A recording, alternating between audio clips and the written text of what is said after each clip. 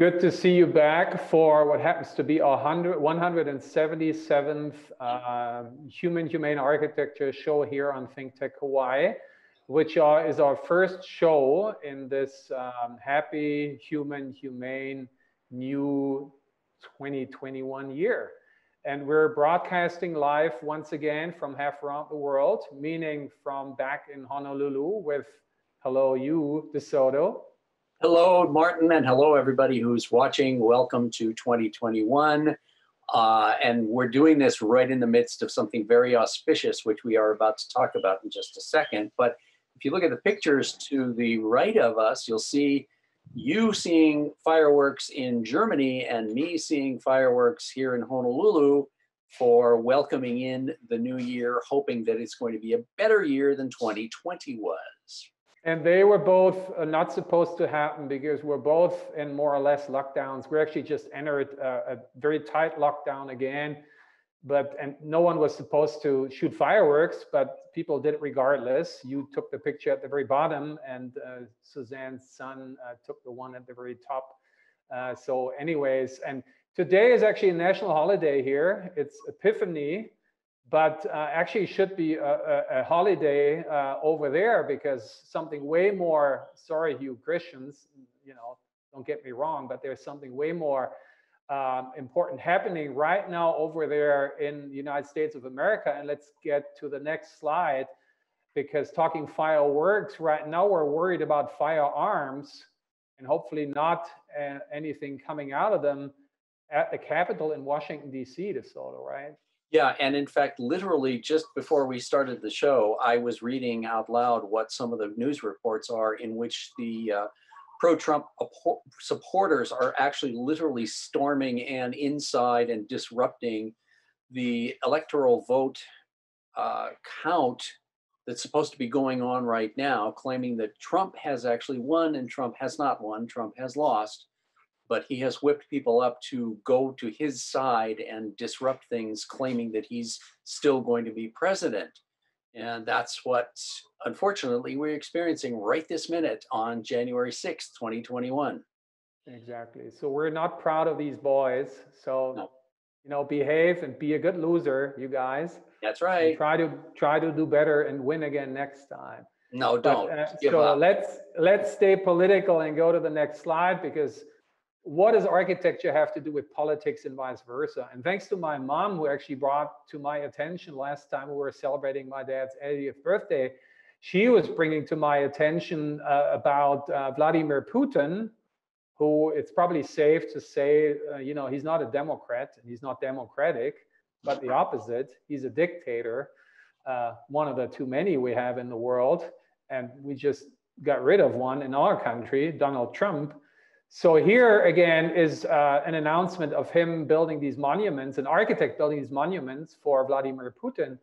And then there is this interesting uh, news article to the right side, which is basically quoting, uh, which we can call for the best, the chameleon architecture from the past, Philip Johnson, but the worst, an opportunist who was rather scarily close to dictators and sympathetic with, with the Nazis, and that was Philip Johnson. And so in an interview that this architect here, Wolf Prix, who's a founding principal of the architectural firm of Coop Himmelblau, was actually saying it doesn't matter for who I'm building, you know, it's about what I build. Let's go to the next slide, because then in further interviewing him, and here he is at the very bottom right, we have to say the ones my age, uh, at the point where we're in school and postmodernism was over, at least was supposed to be, he came up with this rather refreshing provocative ideas. Here's a sort of, uh, you know, um, uh, yeah, pretty scary and in a good way, um, deconstructive remodeling of an um, of of a rooftop um, apartment in in Vienna. And here's Wolf Prix now up in age, where he's reflecting and basically blaming the younger generation that I'm very close to because I'm mentoring them and I'm honored to do that.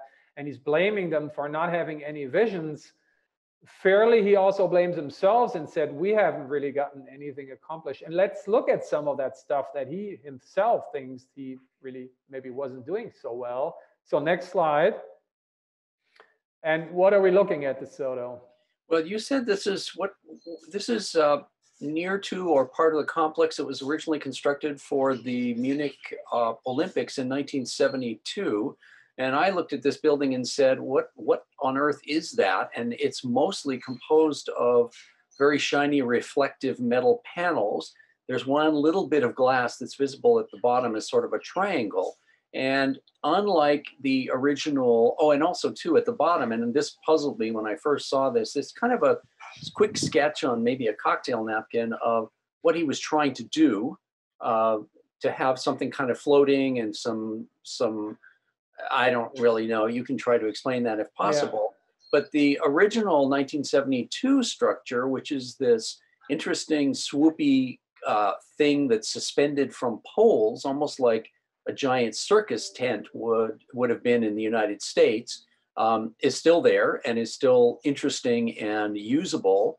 And this new structure, which was built as a uh, like a convention center or an auditorium or of a, a, like a gathering place, is much more just there to look funny and look interesting and look sort of billowy yeah. and and not necessarily rigid and this, buildings like this, as you have said, are the work of architects who, in some cases, just simply want to do something that looks quirky and is not necessarily that useful or sensible. Yeah, we can say to that regards, we agree with him that he has failed because he wanted to like be in the tradition of that, you know, greatly right. ingenious engineering marvel of the Olympic uh, tent structure by Frei Otto and Günther Behnisch, which looks as fresh these days as you know back then, 50 years ago. While his and it's it's it's authentic. It's like what you see is what you get. While here, it's most likely a steel structure, but it's all masqueraded, right? It's covered up. It has makeup on, and that to that degree is truly formalist and has little to no performative measures. Go to the next slide because and and at this point, we want to let the audience know that as much as possible, we pull from personal, either archives, as in your case, with your great archive, both professional and personal, or us walking around and eyewitnessing things. And I happened to be in Frankfurt uh, around, um, uh, I think it was during my Arizona time, so sometimes in 2013 or 14, where I was seeing this project under construction which is the European Central Bank Towers, uh, also by Coop Himmelblau. And Frankfurt has a recent history, you know, a modern marvel, which we talked about before at the very bottom right, which is the Commerce Tower by Lord Norman Foster, which is really trying to push uh, that very sort of power and money dominated typology of a high rise into a uh, more ecologically uh, sensitive and responsible dimension. And that was in the early 90s. And some two decades later, next slide, uh, Wolf Prix came in and won a competition for this basically fossil monument here, which, um, you know, tries to, again, as you said, look kooky, look funny, it's twisted and morphed and turned. And at the next slide, but on a performative level, what we see here is the white sheets in the back is actually the construction workers boarding the building up when it was under construction, so it wasn't even totally hermetically completed. And again, I'm not wearing my collar here for decoration because we have snow here, pretty heavy these days, and it's really cold. And this being next door to me uh, in my country, at this time of the year, it might actually make sense because when the sun might come out tomorrow again, this might, you know, perform as far as um, solar gain. But then in the summer, that isn't. I remember Frankfurt is funny because you know the Ironman being in Hawaii. There's actually a German one in Frankfurt, and some years ago, all the athletes were so happy to perform under cooler temperatures in in Frankfurt, and we actually had it hotter at that point than in Hawaii. We had a heat wave and it was like in the hundreds, and they're like, yeah. "Oh my God, we wish that yeah. we wish we would have been still in Hawaii." Yeah. So once again, you know, here here he is at the beginning or or fairly into the new uh, 21st century doing basically fossil formalism, which is, exactly. is wrong. So yeah, and, and you pointed out you pointed out too that in Germany, in a temperate climate where it gets cold for a good portion of the year, it may be useful at times to be sealed into a glass box, which will heat up through solar energy. But that's not true 100% of the time. So for the rest of the year, where you don't want it to be a heated up glass box like a uh, greenhouse to grow plants, and that's something that is uh, very prominent in temperate climates. Glass greenhouses are created to grow tropical plants in cold climates because they gather and conserve heat to keep tropical plants alive when there's snow outside. So sometimes that works, but that's not true 100% of the time for the whole year. Yeah, and for sure not in Hawaii because this is how the buildings look that we predominantly see popping up in Honolulu left and right, and they're totally wrong. And Yes. here they're pretty pretty wrong too because the summer is coming next, and then these are wrong too. Speaking of European Union, gets us to the next slide because this is a lady we've been uh, talking about quite a bit. She's now the uh, the, the the head commissioner of the European Union, Ursula von der Leyen here who's currently struggling with, with COVID, as we all are, and with uh, getting us as much vaccine as, as possible right now. But she's also uh, promoting something here that you found interesting, right? That we quote at the very top left. Well, she said that she thinks it's time for a new Bauhaus to be created. And I wondered what she meant by that term. Now, the Bauhaus, for those who don't know, is was an art school and an art movement and a and a construction movement, design movement in created in Germany in the early part of the 20th century, 100 years ago, actually. Yeah. Very forward thinking. And also what, what you what I said, what does that mean? You said that you thought that what that meant is a comprehensive, all-encompassing type of new attitude in which you design for everybody and you try to affect as much as possible of daily lives to improve them. So I think what she's saying is a new spirit, a new uh, going forward of not only unity, but looking at everything holistically to improve um, everybody's lives. And certainly this would take into account uh, um, climate change, uh, energy usage, et cetera. Absolutely. And and that being said, you know, the United States continue to be the strongest ally of the European Union. Uh, she's obviously much looking forward to the uh, Kamala and and and Joe Biden Yes. administration now because that's the reason why the Proud Boys are so freaked out because as it looks like the Democrats are about to win not just the House because that was in their hands, but also the Senate now. So that gives, again, the Biden Harris administration much more leverage to be in line with von der Leyen. Yes. Uh, she also calls it the new European Green Deal, and that's obviously Yeah. referring to America Correct. as well. So Correct. it goes both Correct. ways, right?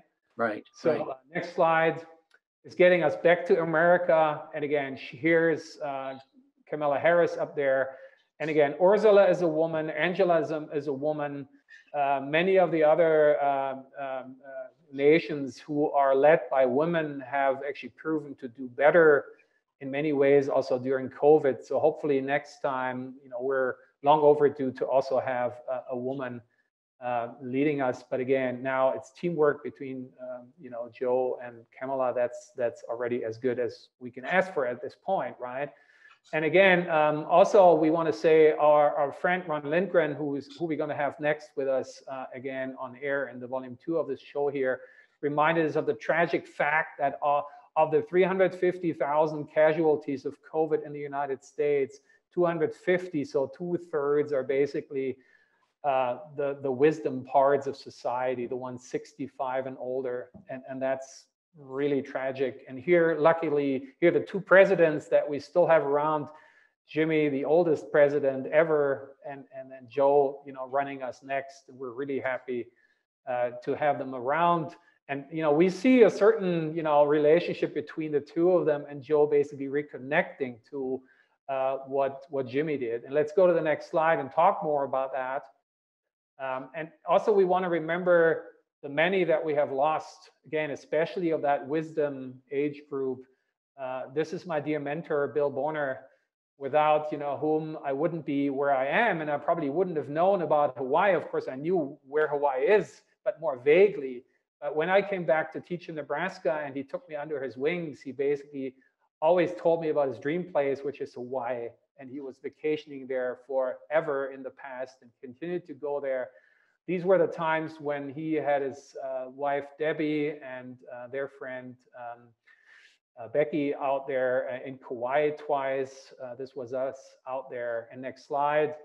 Um, going back to the glorious days of the 70s, uh, Bill was uh, instrumental. He started teaching in 72 and he was the environmental engineer of the building that probably has informed and impacted me the most, which is the 1976 National Bank of Commerce by I.M. Pei in Lincoln, Nebraska. And you see at the very bottom right, the achievement of Bill together with I.M. Pei, this beautiful fusion of, uh, at that time, grantedly, the 70s were still fossil, uh, you know, principally, but this beautiful fusion of all systems, acoustical, air conditioning, lighting, sprinklering, structure, everything collapsed um, into this beautiful blend of reflective steeling plan.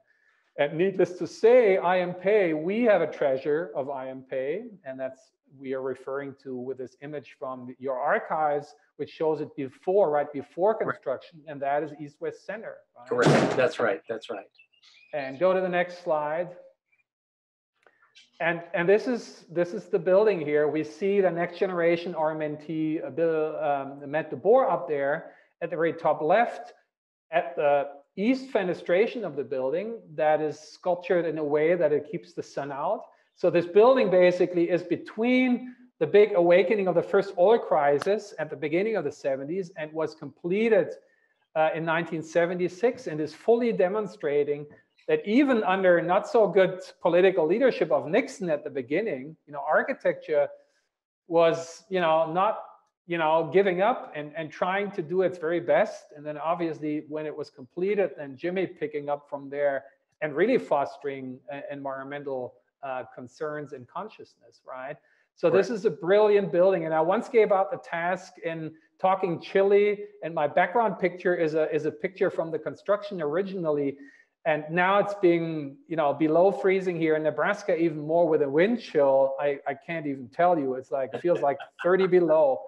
So they were building this through the winter and this is poured in place concrete buff colored concrete. And how in the world did they make this happen to pour through the the winter and the freezing why do we say this and why we don't have that? So we should you know really be very happy and, and feel honored to be able to to be able to build under the most right. privileged circumstances right. of constantly perfect you know temperature right? Correct. Nothing freezes here. Exactly. Next slide.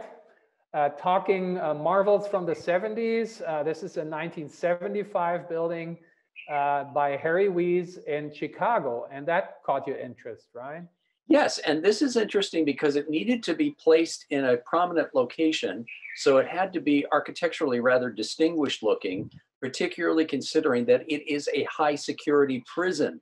So the response to that requirement was to build this very sharp edged triangular high rise that is distinctive looking because it's got these very skinny little windows that could only be a maximum of five inches wide that's for security purposes, but it ended up looking interesting and looking like an old fashioned IBM computer punch card, which the architect acknowledged was part of what he wanted to do. And it became a striking looking building, despite or partly because of the nature of what it was doing. It was housing hardened criminals that had to be kept under high security. Yeah. And next, uh, well, stay with this slide for a second here. Just like the Wells Fargo Bank in Lincoln, Nebraska, this was basically pigmented. So the color was basically mixed into the concrete, which I poured in place in this sort of buff colored. It was actually imported from Texas. And next slide um, is when I was back in Chicago um, a while ago, and my buddy from school, Dan Kubrick, basically drove me around, and I asked him to drive back because I was hoping that what I saw wasn't real, but it was real. And what is that, DeSoto? Well, unfortunately, they've painted the building this kind of buff mustard color. And for some reason, it's true even here in Honolulu, people feel the need to update concrete, plain concrete, brutalist buildings by painting them this same yellowy color. That's happened here in Honolulu. It happened to the federal uh, building downtown um, with the federal courthouse. It happened to the Kaiser Clinic in central Honolulu. It happened at the at UH.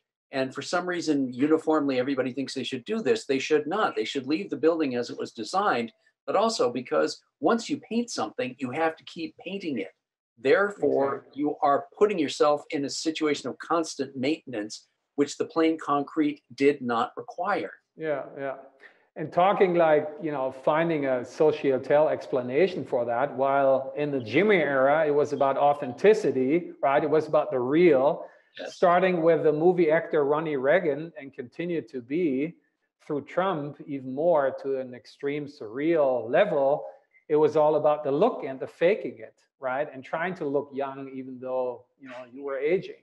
So right. similar with the building, they just threw the makeup on the fake over it, and we're basically covering up its authenticity. And next slide. Um, again, I once had the situation. I was also banking in. This is back to Nebraska. This is the lobby down there, and I happened to be in the in the lobby, and I saw them doing some test paint on some of the counters, and I basically freaked out. And a woman that turned out to have something to say basically asked me, and when I came back next time, they had scraped off the te- test, test paint and basically um, tried to wash it, get the grease out because it was where the in the summer when the the short pants and the skirts, you know, and the the, the legs were leaving their grease in the in the concrete. And Right. They were washing this out, and and luckily because again. You, you cannot make something like that. This is like again me the Americana. These buildings would have never happened in Germany. We lost the war for good reason. Thank you and we were traumatized. So modernism was stiff, and this Yeah. very proud, heroing is was only able to be possible in in America, only in Mm. America. The next slide uh, truly shows us. Bill here he is taking the students and me out to where the cutting edge technology is. This is out to the prefab concrete industry in, in, in Omaha and Lincoln, Nebraska. And you see these huge highway trusses, double T with these amazingly, uh, you know, flimsy and, and thin flanges there. And again, picture up there, we have that too. We have that out there at Great Pacific Rocky Mountain Precast out west at Campbell Industrial Park. And why did Bill show this to us? Next slide. Because he wanted to prevent this, right?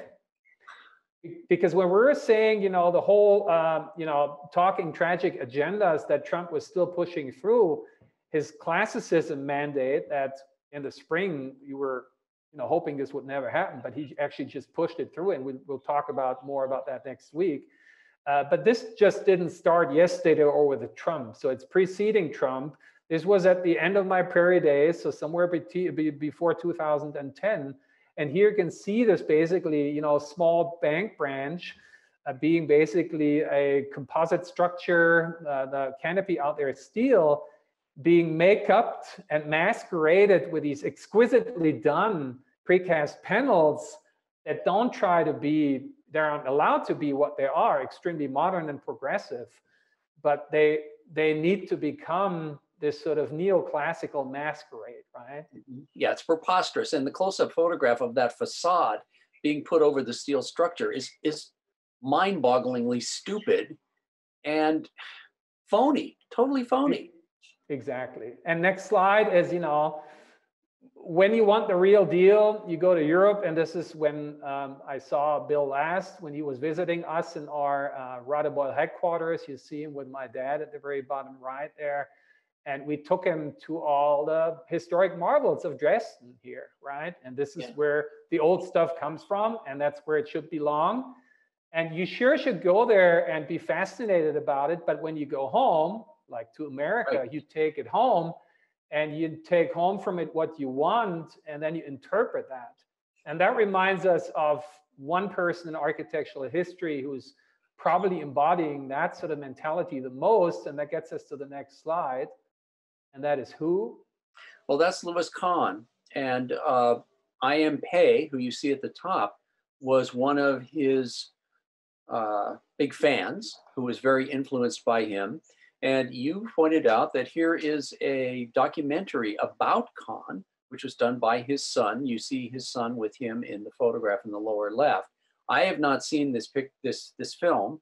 You took your sons to see it when they were very little, and as you pointed out, they saw you crying with emotion to see the work of this man and to find out about his life.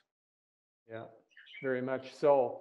And again, in, in the movie, Nathaniel, who you see here at the very uh, bottom left with his father, and Happy New Year, Nathaniel, we had the chance to get to know him when we brought him to UH to basically show the movie and have a Q&A after that. Uh, never forget that. And basically in the movie, basically he goes out to interview um, for various reasons, he didn't have the chance to get to know his father a lot. So he wanted to get to know him through the ones who have been around him. So he was asking all the famous people who are still around, and one of them was I.M. Pei. And we probably yet have to do a show about him because we his do. footprint in, and he passed away in the very honorable age of 102 last year.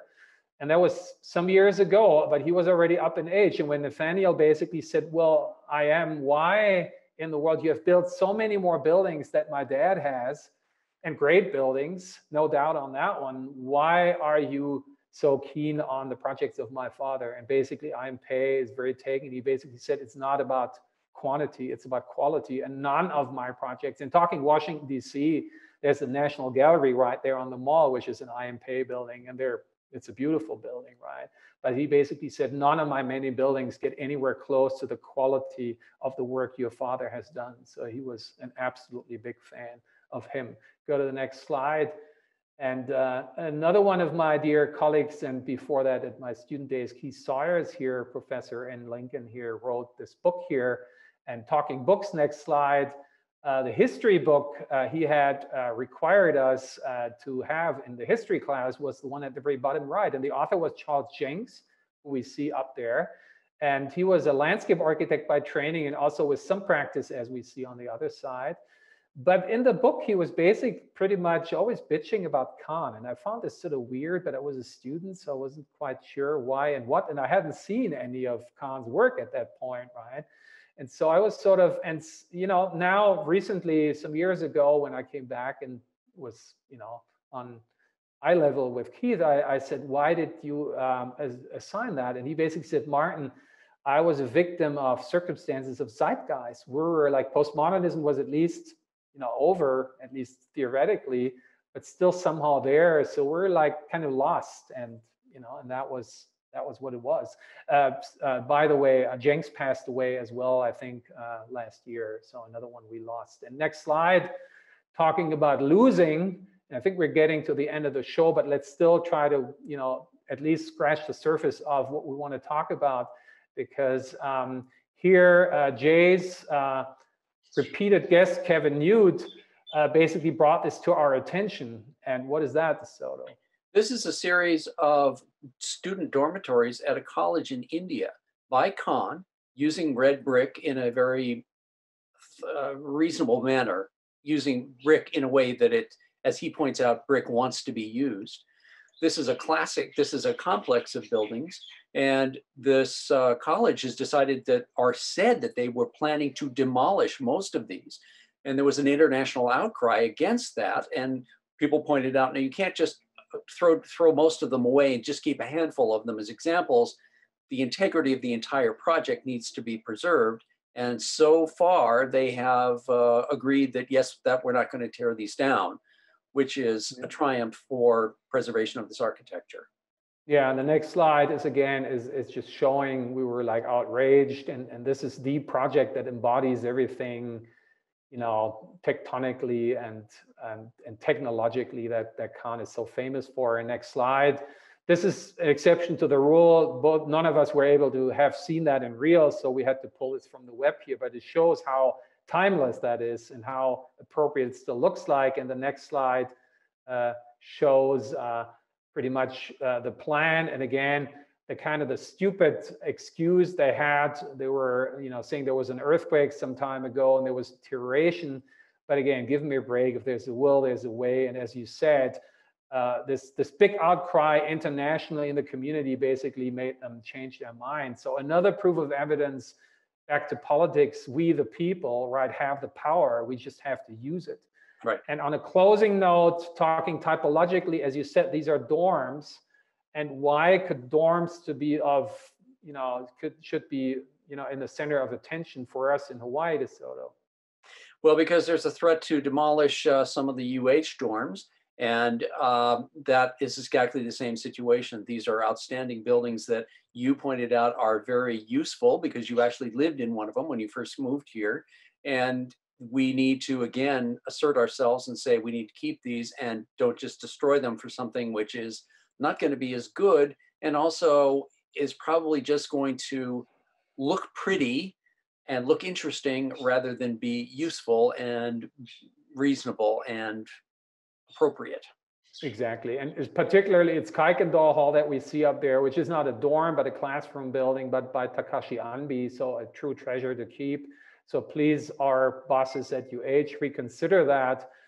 And as well, again, as you pointed out, you know, I had spent, I was privileged to spend my first week in Hawaii when I came in 2012 in an I.M. Pei dorm, which is basically Hale Manoa up there. And it's a beautiful building. So again, go back, reflect that, research that, and then go back to the drawing board. Because again, we don't want to see again what we see at the intersection of University Avenue um, and King Street, right? Uh, nor again what they're proposing for up Yes. there on Dole Street where the Correct. creek comes down, right? These Right. are pretty scary, hermetic, invasive creatures. And again, go back to these masterpieces that we have just next door Right. because Right. Manoa is right there. Right. So with that, uh, once again, uh, happy, humane, new 21. Hopefully, again, everything stays peaceful there up at the National Mall in Washington, D.C. And uh, we look forward to have democracy back. And we'll reflect more about learning from the past for the future and uh, starting out with volume two of this next time and sharing uh, another Luca building that we actually have witnessed. And we want to Yes. share how it had some impact on us. Yes. So with that, thank you and uh, see you next week. Aloha.